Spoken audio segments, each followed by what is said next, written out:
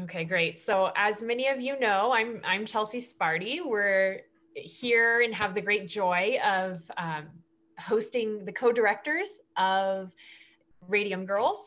This event is put on by the Samuel Lawrence Foundation in partnership with the creators of the film and the Coalition for Nuclear Safety as well.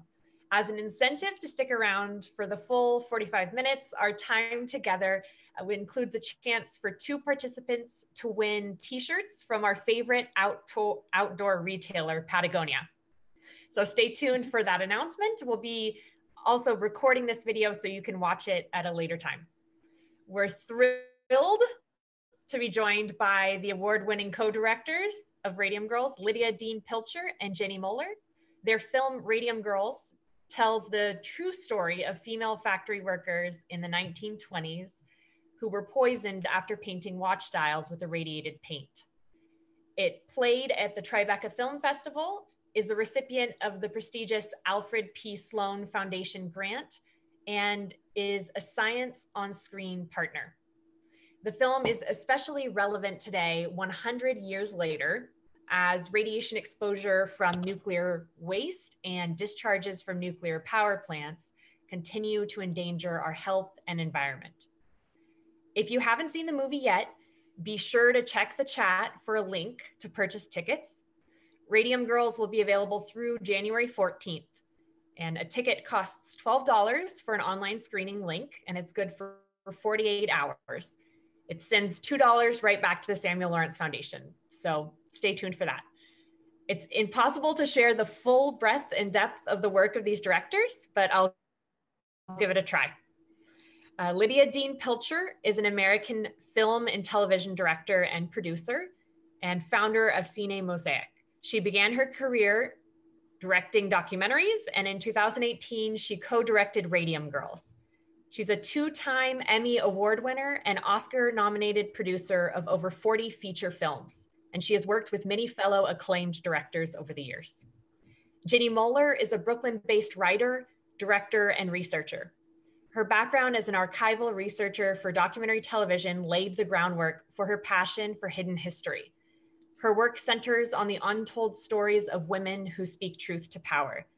She's been an artist in residence at the Virginia Center for Creative Arts, Moulin à Nef in France, and the studios at MASS MoCA. Thanks for joining us today, Lydia and Ginny. Thank you. Thanks for having us. Absolutely. So, so let's jump right in. Tell us how this project came to be. Back in 2012, I was working at a documentary company doing archival research on a two hour special for the Discovery Channel about the Manhattan Project. It was not a subject I was familiar with at all, but it really went from like zero zero to 60 really fast in terms of all all of the research that I could find.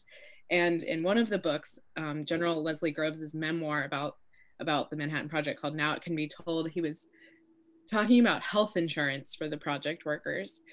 And he said, in considering it, we all remembered the tragic dial painters of World War One. And I just it was a sort of hard stop for me. And I reread it and I didn't know what a dial painter was. And I was not familiar with the tragedy he was talking about and I couldn't imagine actually given the context I just had no idea.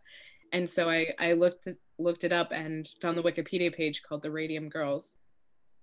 And I was working alongside my screenwriting partner and an old friend from college Brittany Shaw and we read the story. We couldn't believe it. We were moved by so much of it and and the tragedy and the the sort of teenage dreams you know deferred and um and that's when we decided to to start writing a screenplay adapting it hmm. Yeah, and I'll just add to that that um, I've been an environmental activist for many years, and I was looking for a project that would really marry my storytelling career with my um, passion for the environment. And when I read uh, Ginny and Brittany's screenplay, I was very moved by the idea that the story was told through the eyes of teenage girls. So there was this age of innocence and then kind of you know one of the most you know sort of disturbing rude awakenings one could imagine in your lifetime um, working at the radium factory. But they were, you know, they were dreamers. They were part of a very vital world that was politically turbulent, even though that wasn't something they knew about. They they knew that King's Tut tomb had been founded, and they had a fascination for the for the Book of the Dead, and um, it was the Jazz Age, and there was a lot of other things going on that they were they were interested in. But I think that you know the idea of radium as as being sort of this you know central you know inciting event and the story is also interesting because it was in a time when radium had just been discovered and people thought it was um, a miracle elixir. It had been sort of reducing tumors and there were some healthful effects, but the profiteers just kind of went crazy about, you know, it's going to put a glow in your cheeks and drink the water. And um, it was, you know, it was the discovery of the element had happened, but the scientific discovery of what it all meant hadn't yet been realized. So I think, you know, when when we released the film in October, which you know was a little bit later than we had planned, we thought we were going to release in April, and then the theaters were shuttered. It was interesting how many parallels to COVID that the that the journalists and the press picked up on, and it um, we feel like the timing actually was has been in our favor, um, even though we didn't plan it this way, because there. Um, there are a lot of parallels between you know the idea of you know um, something that we COVID, something that we don't know everything about. Um, you know, people are getting sick, they're dying. Is it safe to go back to work? The, you know, science is being denied, government's looking the other way. Um, it, it brings a lot of it brings a lot of things into focus in terms of the questions that I think you know people like us and who are involved on this call are really trying to figure out how to address and our culture and our society. Absolutely. So we hear a little a little bit of your inspiration for making the film there. What were some of your mm-hmm. hopes um, of this film, uh, knowing that we're we're facing these these big issues? Mm-hmm. Well, there were hopes early on, always from the beginning of of outlining the film and saying, you know, whose lens is this from? To for brittany and i it was it was always you know it was about the the sisters um the women and not portraying them as victims but as as like as the heroines of this experience. Um and so th- in that one of the things that I, I was always so excited about was you know just reaching young reaching students uh, young people. I i you know i wanted to make a movie that i would have seen in seventh grade science class the day a substitute teacher came and showed us a movie that um that would then kind of like stay with me and rattle like kind of just stay which the story did for me. And um that that was always a, a long-term big picture. Hope is just to inspire people to look further. Mm-hmm. Mm. Yeah, and I think um, I mean one of the things that really interests me about the story too is the role that the early women's political movement played in kind of uplifting the Radium Girls story. I think that that's something that particularly in this in the moment that we're in right now, where we just really saw like every vote matters, every voice counts, and how important it, it is, you know, for everybody to come together and use that voice. Um, that that part of the story with the Radium Girls really inspires me because the story took place in a time when women had just gotten the right to vote. And so, and, and everybody was organized and active and they wanted to use the vote and there was no regulation in industry. Um, there were, there was the Consumers League that was also run by women and was really out in front of you know industrial you know um, say industrial workplace safety toxin issues. Um, alice hamilton who was the first female professor at harvard and was one of the pioneers in industrial toxicology was um, connected to the head of the new jersey consumers league katherine wiley and it was really that connection once the factory in mm-hmm. Orange, New Jersey was was really had really revealed um, you know, when they exhumed one of the bodies of, of one of the radium workers, who was a sister of, of our two sisters, that proved that the radium that she died of radium poisoning, not syphilis, which, which is what the company was saying. And once that happened, it really provided an entree for other activists to really come in and help help the Radium Girls and lift them up and and use the media machine that they had really honed, you know, during their suffrage work. I find that very interesting too, because I, again, I think that the only way we can tackle all of these issues, you know, in our world today is by, you know, coming together and uniting and really, you know, building that power collectively. Absolutely. We've, we've definitely seen that in our work as well. And the, the necessity of working together and working across all kinds of intersections and, and all kinds of groups. Um, so Today, we're, we're joined by several students as well from a local high school, Oceanside High School. And one of those students, Laura, is curious what spoke to you about this story and the subject that, that led you to want to adapt it into a film? So, there's so much in the story that is I mean, it's it's one of those things where I don't think I ever could have described like this is these are the things that I would be looking for in in a historical adaptation. And in fact, like at that time, um, I in my career, I was just a couple years out of film school. I was not, I didn't even realize how much I loved history or how exciting I thought it was. And and there's something about this story that as I as I already as I as I already said and and also what Lydia was saying about the women's political movement and like the teenage girls and this like what happens when your world is turned upside down? That was like the driving question. Like what mm-hmm. happens? What would happen what would it be like for me? What would it be like for brittany? Like um, as we were making this film what would it be like? And then i there's also something very inherently dramatic so i you know i would say that this is this this historical these historical events are almost shaped like greek tragedy like like it was scripted uh, like that where you have the the glow and the decay you know and they're they're and and the the symbolism of of clocks and time and time is running out and the court case has a timeline and and um and you know the fact that you know what looks like magic turns out to be poison. And then it and then it's just sort of down the rabbit hole from there in terms of not only is it poison but the people who you would think their job is to protect you knew otherwise and didn't protect you. And it turns out their job is to um, you know put profits first. So all of mm. all of that and more but that was the entry point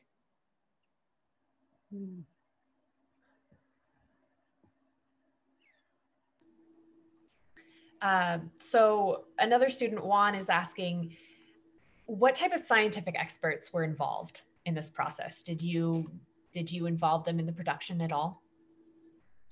Well, as a, a, a Sloan film, we initially wrote the screenplay as we applied for a Sloan Science and Film grant, and they they one of the requirements for that is to have a scientific expert um, advise, which was really helpful, and that was someone we talked to really early on looking, I think, my, if I'm remembering correctly, I, it's specifically at, at like the effects of radium necrosis on on um, the jaw and on on a person's body. And then we also had a his like a, I didn't even realize actually then that history of science was a field, um, which is an amazing field. And so we had a, a expert in the history of science who continued to advise on the script and he was someone that I had worked with as an expert on that Manhattan Project documentary and his his focus was on the Manhattan Project and then he had a lot of research and connections into the you know the early years of radio, radioactivity in America. Great. Uh, the, these students are also looking for their future careers, so it's it's really great to see where filmmaking and science and history all connect. Ooh. Uh, so Susan Shapiro's curious, was it difficult to get funding given this subject matter of, of radium and radiation? Well, I think that um, I think that just in the sort of the standard sort of storytelling industry, you know, one of the things we had to do was dispel the site. You know, I mean, if you think about it, who wants to go see a movie about a group of teenage girls who get poisoned and die? Like it's it's just it's not the kind of thing that people are sort of rushing out to see on their Friday night.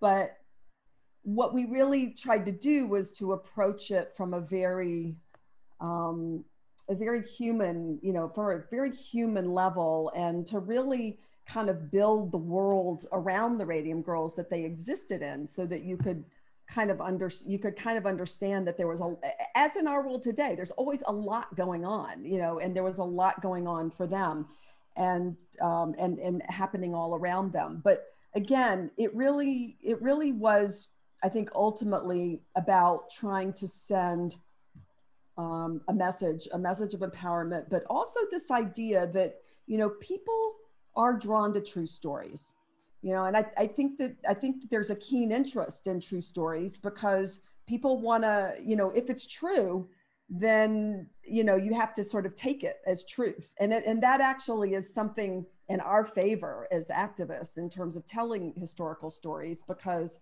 it happened you know. It was there's a beginning there's a middle there's an it happened you know we we often talk about how people have a hard time understanding things that they can't see so if you can't see climate change, you can't see radium, you can't see COVID, it just leaves a lot of room for misinformation, disinformation, for people to manipulate what is the truth.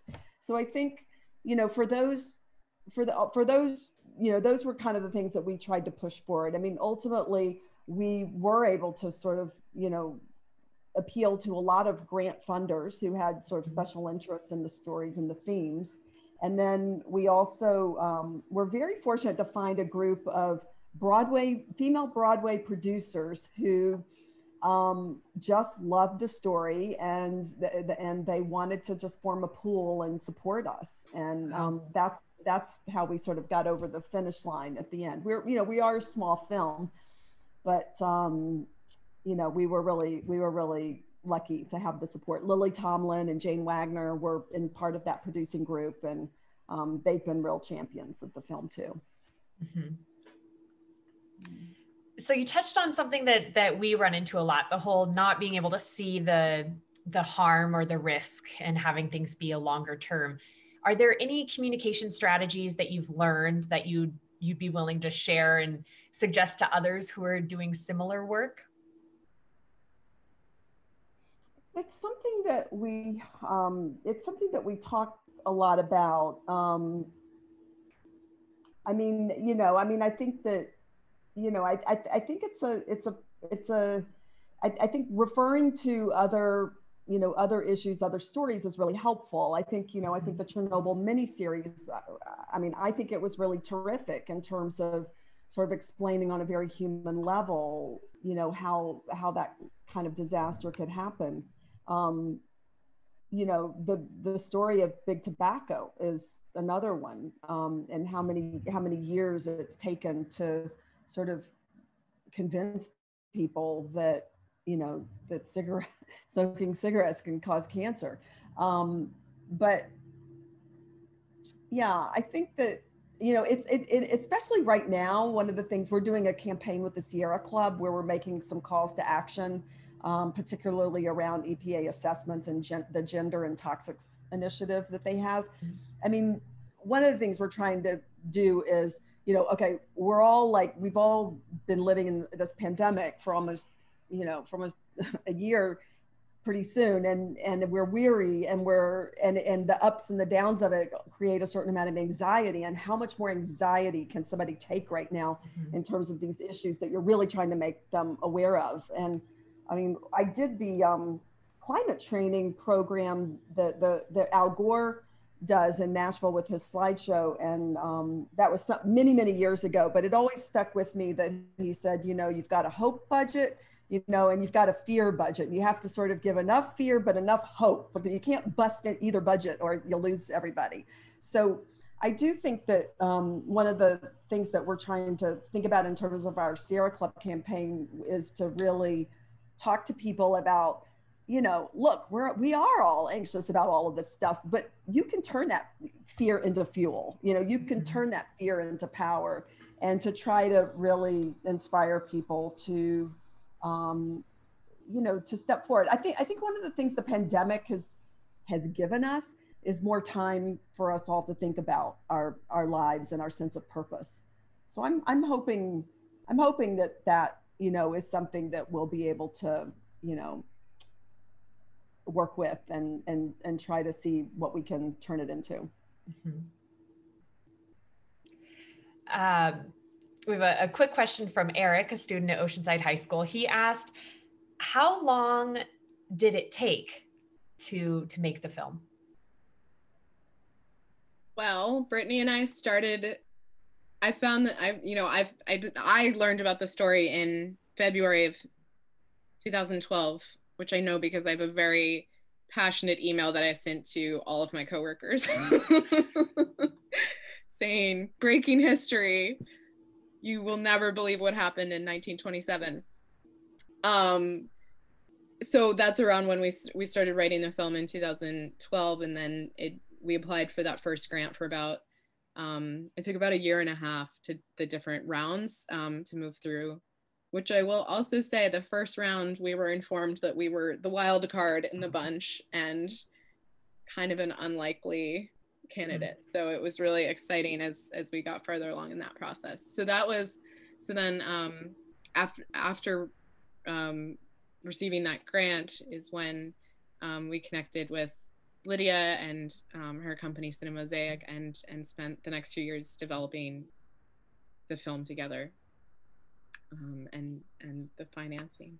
Yeah, I think I think sort of to answer the the the question probably probably what's really on their mind is it, it you know you you have an idea and you have to create a screenplay and then you know, sometimes that screenplay just it goes through a, a, a period of gestation because it's it it is essentially an iterative process. You write something, people read it, they give you feedback, you may change it, you may take it in different directions. I think I think it, it's fair to say, you know, the screenplay that Ginny and Brittany were working on, you know, had different directions it could go in. And part of our process was really crystallizing the direction we wanted it to take. Um, so that's just a creative process and you can't you know you can't measure how long that's going to take when we decided we were ready to make the movie we you know we started to put our department heads together you know the, the camera person the, the production designer the costume designer um, and we started to prepare and that preparation you know on any kind of feature film can take um, anywhere from you know three to four months depending on how complicated your mm-hmm. movie is and then when we actually got ready to shoot and we knew exactly what we were doing we had already picked all the locations you know we we shot the movie in 21 days okay and then and then after you shoot the movie you, you enter into a post-production process which is not unlike that writing development process sometimes um, but um, we, you know, we spent sort of a concert, we could spent sort of concerted chunks of time where we would edit, you know, the movie into a cut, then we would test it out mm-hmm. with different groups and audiences and then go back in. And so it's, um, it's really a matter of how quickly you can kind of move through those steps um, as you, you know, as you sort of shape it and um, decide when it, when you've like maximized its potential. Great. So just a, a, a, quick break here. We have our first winner of the Patagonia women's t-shirt, and that is Sarah Moscow. So you've won uh, the women's t-shirt, and we'll have one other t-shirt at the at the end of the of the conversation as well. So congrats, Sarah. Uh, Do we get to meet Sarah? this is a, this is exciting. I'm excited because um, at, at, our New Jersey uh, premiere, we we were screening at a dry at the Cranford Drive-In Theater, uh-huh. and Ginny and I um, raffled off one of the factory um, lab coats. Oh wow! and so so we were we were out there. There, there was like 80 cars socially distanced you know they they really did a beautiful job with the screening but um, before it i was like but before it started i was like how are we ever going to find the person that has the winning ticket? And of course all they had to do was honk. Well sarah sarah's on the call. Sarah do you want to say anything um, I this is wonderful. I have never won anything before in my life, and if I'm going to win something, this is a great thing to win. So thank you, guys. You're welcome. Thanks so much for joining us, and we're we're really grateful to Patagonia. They jumped in and um, have been really active supporters of uh, protecting our coast from radioactive waste here in Southern California. So we're grateful oh, to that their store. Um, so Ace Hoffman asks what's the estimated number of girls who became sick from radium poisoning? I don't know that I have not seen a, a hard number, which isn't to say mm-hmm. that there mm-hmm. not one out there, but um, one of the problems was that you know women women were either being misdiagnosed or weren't coming forward, and so I think that right. um, I, so I think there's that. There was a study done at um, the Argonne National Laboratory believe on former dial painters and that's where some of like the the data um, on the disease and like the progression of of radium poisoning came from um, um mm-hmm. but in terms of of actually really understanding the scope of it i haven't seen a, a number i think it's in the 100s mm-hmm. but it, it's true because things you know as with covid the intensity of your um, your sickness has a lot to do with the level of exposure that you've had. And I was, I, you know, with Katherine Schaub, who was one of the New Jersey Radium Girls, and she's the she's the um, real life person who the Joey King character is based on. Um, she wrote diaries and um, had really left a lot of sort of information about her own personal experience um, mm-hmm. behind. But I, I think she died when she was, you know, 30 um, and it was it was um, she the the cancer had sort of it, the can it, it, had gotten into her bones and she she developed a tumor on one of her legs and they wanted to amputate it and she didn't want to. And i think she died at the age of 30 but she was much younger you know when the whole radium girls case was happening. Mm-hmm. but um yeah it, it affected it, it affected people in so many different ways. I think the radium um, dust would, you know, could, even though they were lip pointing, and, and that was very severe because it was, you know, you're taking in that radium right into your dental cavities and your this very delicate tissue in your mouth. And, um, but the radium dust could, you know, could be anywhere, all over. Right so something that really stood out for me the film is a story about women. It's uh, powerful to have it both written told and directed by a team of women. And um, one of our the teachers among us juan hernandez asks what advice would you give to young girls and women who have had to endure an injustice?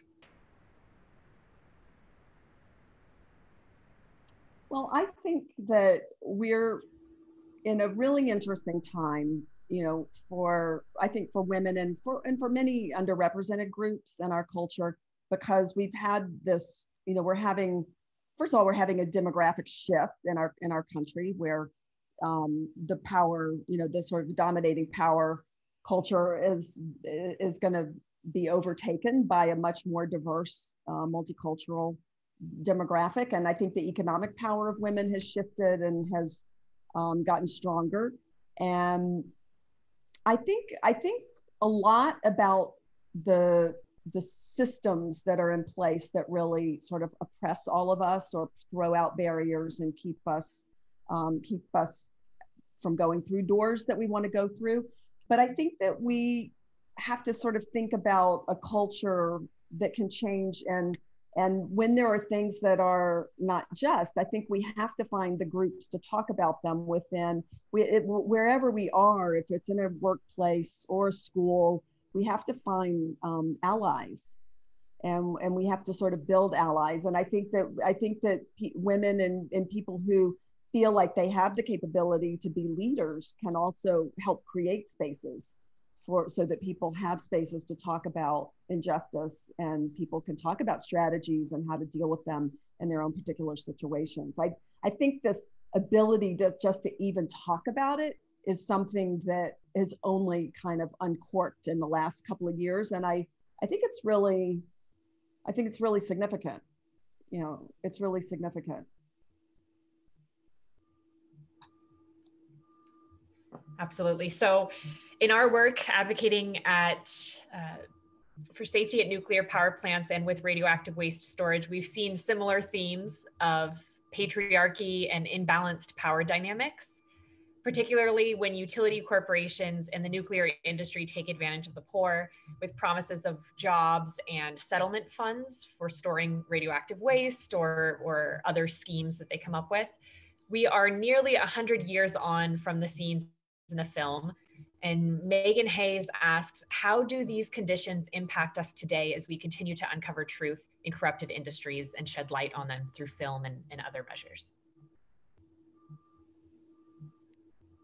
Well, they're, they're connected to so many issues that we're facing today. And I, you know, when Ginny and I finished the film, we were in touch with some people from the EPA and they told us that they still use the Radium Girls case and when they're litigating toxic chemical um, cases in court. And I was kind of like, it was so long ago. I mean, really, you still use that case? And and then you know when you stop and you think about it that radium wasn't banned until the 70s, and that was when the EPA was formed, OSHA was formed, um, and there and the cleanup is massive. It still isn't contained today, but I think I think the EPA and the Superfund sites really got out there and um, you know d- dealt with the contaminated groundwater and those kind of things. But like in same issues that you're talking about with nuclear waste I mean, the the the waste from the radium factories they just put it into landfills and put it in concrete and poured sidewalks and used it in the foundation of houses. And all of these are things that have had to be, be you know torn apart in the cleanup. It's um it's so pervasive and some of those buildings are still out there. They're just fenced off properties. You know, they just sort of closed the door and walked away. But they're, they're luminous watchdial factories, you know, in many places across the country that, that have sites that are just sitting there. Um, so I think I think that there's a lot of there's a lot of parallel um, to you know there's the the PFAS you know chemicals and the PFOAS chemicals with the firefighter foam and there's a lot of things that really that we really need to take seriously. And um, we've been J- Ginny and I are in touch with Elizabeth Southerland who was you know head of the EPA for 30 years before, before she decided to leave the Trump administration because she felt she would be more effective outside of the government. And she's um, we're doing an event with her next week uh, because when she left the EPA, she she was became part of a group of 500 scientists called the Environmental Protection Network. Hmm. Do you have you do you know them, Chelsea? I haven't heard of them. No. They, um, they're they're a, it's it's a I mean it's a smaller group because it's 500 scientists and they they're all working you know on a volunteer basis, but they have monitored everything that's gone on in the EPA in the Trump years and Betsy says there's 80 regulations that the EPA needs to put back in place as soon as possible. They won't all go back in at the same. Some will go back in, you know, right away, and some will take a year. You know, depending on the steps and the protocols that they have to go through to undo um, the problems that you know have been created by the way by the way Trump's people have um, rolled back these protections. But you know, it, it was it's comforting to me to know that they've got their eye on the ball and that they're really focused on it. They're working with the Biden Harris transition team now, mm-hmm. and um, I you know, that's I, mean, I think we have to. I think we all just have to stay focused on it all together. Yeah. So Kathy Iwane had a had a question, um, possibly for you, Ginny, that for her this this film really showed the necessity of legal precedent in order to raise public awareness in your archival research, have you come across any lawsuits where the citizens prevailed against a government body or regulator, uh, proving negligence from a poorly managed nuclear plant in the US or, or another site that managed radiation? I haven't. I haven't um, yet. Uh, but I also, the majority of my nuclear research really was focused on or sorry, the majority of my research, which focused on on nuclear issues, was was primarily um, the Manhattan Project era, and then and mm-hmm. then Radium Girls. So, yeah. So earlier on. Earlier, but I will tell a story, which I think connects to um, what you know the the last few questions too. Um, and I just think it's like it's such an important example because I think legal precedent does go a long way but then i think also as like with the radium girls the press and the public outrage can be mobilized without it and mm-hmm. can drive it often um, and uh, i think the case of what you know there's a lot of cases of, of industrial toxins in, in the 1920s and the years before and and also stories of you know in, incredible activists most most of them women who were uh, fighting really hard to keep workers especially like women and children workers um, safe from these chemicals that were unregulated. And i think the white what happened with white phosphorus is a really important example um, in that it's white phosphorus was used in, in making matches and was very poisonous and, and caused jaw and other sim- symptoms that were pretty similar to radium poisoning and was often could be fatal and have necrosis. It was, I mean, it was a very gruesome disease and activists, organizers, legislators worked very hard to to put regulations in place around it. And in in the early 1910s, I want to say like maybe 1912, legislation was passed on a federal level to ban white phosphorus from being used in creating matches. So at this point, there is a serious paper trail. It's definitely toxic. Everyone knows it. And yet, because the law calls out match production, it is continued to be used in New Jersey to make fireworks. So at the time that the Radium Girls case is happening, one of the things that the company tries to pin it on is phosphorus poisoning. And they say, well, phosphorus is being used over at the fireworks plant. And so maybe some of the women were contaminated, you know, had something to do with phosphorus. And even some of the early, you know, inspections of the plant of the radium girls factory were looking for phosphorus. And when they didn't find phosphorus they said well then it must be fine mm-hmm. because you know maybe it's the phosphorus. So i just think that that's a really important example of you know like baby steps and loopholes and really holding companies accountable because there, there's no way that that company could say we had we didn't know like sorry um, not with that initial law long story, but thank you for indulging me. Yeah, we, we see this um, pretty frequently. Something that we often hear from the nuclear industry is that you get exposed to X amount of radiation from taking in a, a, a flight.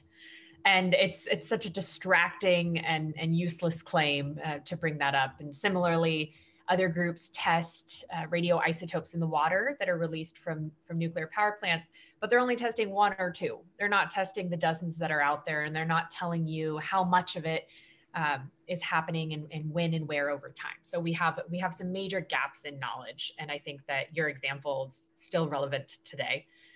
Um, something that really hit home for me. So these women suffered a lot, and I'm wondering if you heard of any accounts of how they viewed nuclear power commercialization less than three decades after their their fight against radium. Maybe some of them didn't even live long enough to see that happen. I haven't. I yeah. yeah. It would have been in the 1950s, 1960s. I uh, you know if I think if if you're um, really curious about that, I think the best resource in it answers not coming to mind, but there's a documentary about um, called Radium City that was made in the 80s about um, the, the town in Illinois where um, there was a radium watch factory. And it, a lot of the film deals with the aftermath and, and does interview people who, um, yeah, I, they interview one dial painter who was part an inspiration for the, the part of Bessie's story where she, she doesn't like the taste of the brush. And so they interview this former dial painter um, who still has, um, is is not completely healthy but but i think that might be a have have some more information about about that sure. the, I, the, town was very contaminated as a result yeah i'm sure that a lot of folks will be interested in that um, in addition we have a an expert on the call the esteemed dr tim mousseau who has done research many years at chernobyl and he mm-hmm. asks is there a movie in your future dealing with the fallout of the chernobyl disaster I think it would be hard to top the HBO miniseries um, written by Craig Mazin. I, I felt that that was very well done in terms of just bringing bringing you into the world of all the people involved and how many you know from all these different angles. Um, I, I, I found it very compelling and very effective. Um, yeah. I don't know. I don't know if I would tackle that one, but there's there's plenty of other tra- disasters out there. Um, yeah. Okay, so uh, we only have a, a, few minutes left. We still have a couple unanswered questions. Um, uh, one one of the the teachers asks, "Has the film and your research about radium have have has it had any influence on how you feel about nuclear energy?"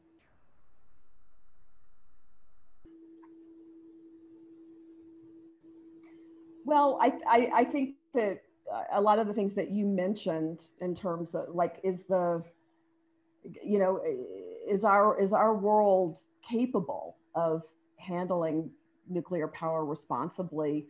I, I you know, it, it doesn't seem so you know it, it, you know given given the pull between you know regulatory you know entities and business interests and who's really um, who really the vulnerable populations are that are going to be you know exposed to the things that don't work. It just it just doesn't it just doesn't seem like um, it doesn't seem like we're there that we're ready so i don't um, I, I i think if anything what the movie has done you know in my in my worldview because i'm not a scientist and i'm not a you know it, i I do live mostly in the world of arts and culture and the history or the events that I sort of dive into for each project. But I think, you know, what it's done for me just personally is, is it has really broadened my whole um, awareness and, and sensitivity to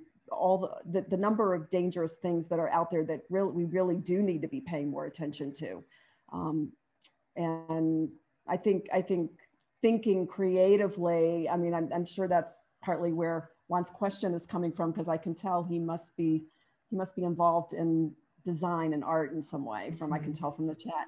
But I, I think that, that that really is our challenge is how do we um, how do we tell stories that that can help people think differently about something or to look at something from a different way than they have before to break through break through the biases that they've had about things that may not be as close to the truth as what we feel you know the truth can be. So i think i think that's our challenge um, as artists you know is, is to try to inspire people to see differently or in new ways i definitely I, i'm sure that many of us have experienced that from watching your film and are so grateful for for being able to to see things in a new way through all of your many years of work uh, so we have uh, before we we close we have the next winner.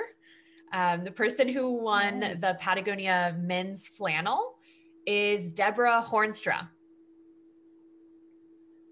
So Deborah, I see you're, you're down there. Congratulations. Um, please uh, look to the chat. Amanda will give you some information on how to receive the shirt. Uh, again, we're so grateful to have you, Lydia and Ginny, here with us. And we're really looking forward to sharing your, your film and being able to continue the work that it takes to achieve uh, and safeguard people and the environment from, from radiation. Uh, anything, any final thoughts that you want to share with all of us?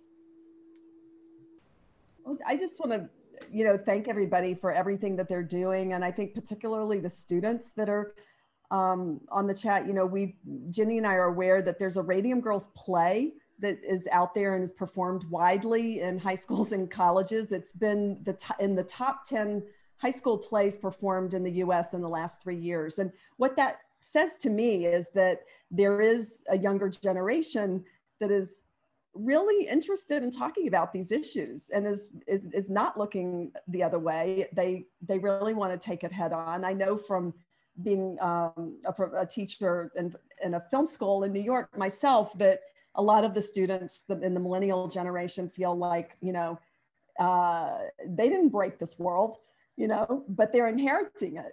And I think that, and I think in so many ways, the young people are our future. And the more that we're actually working together, I'm so thrilled that they're on the, they're on the Zoom tonight. Um, the stronger we're all going to be.